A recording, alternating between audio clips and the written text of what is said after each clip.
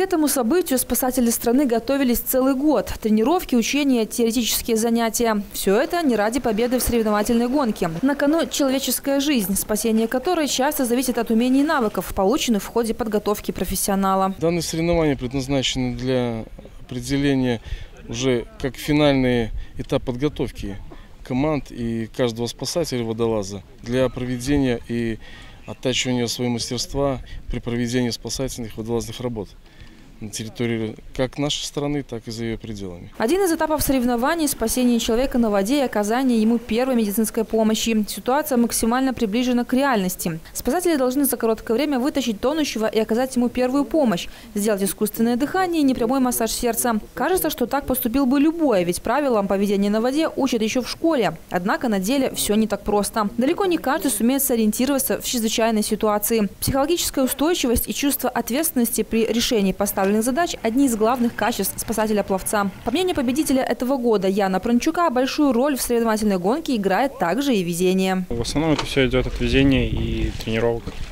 А именно на воде и бросании конца и круга но в большей степени это везение на круге и на конце. А остальное все отработано было до этого на тренировках по плаванию. Для каждой команды соревнования – это возможность показать свои умения и навыки в деле спасения на воде, а также увидеться и обменяться полученным опытом со своими коллегами. Такой подход даст в дальнейшем свои положительные плоды при выполнении служебных задач. Встречаемся опять же с товарищами, которых мы не видели год.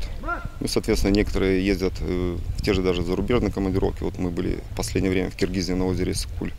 Э, где проходили глубоководные погружения. Ну и, соответственно, делимся вот этим полученным опытом за год. Здесь моделируются ситуации, которые могут возникнуть у спасателя. Ну и, соответственно, натренированность становится больше. Быстрее выполняются некоторые нормативы. Брестская команда в том году второе место заняла. Сильная команда, и тем более на своей земле выступают.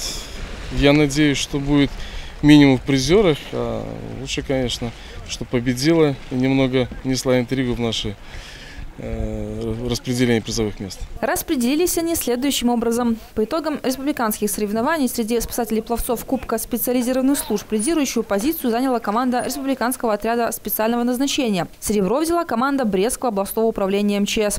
Такой результат в очередной раз подтвердил. Спасатели Брещины – одни из самых лучших в стране.